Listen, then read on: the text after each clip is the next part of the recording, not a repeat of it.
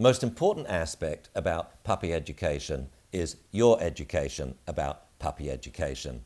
Puppy training is really quite easy, but you have to know how to do it. So take the time to enjoy this site and learn science-based lure reward training methods. But remember, you have to educate yourself before you can educate your puppy.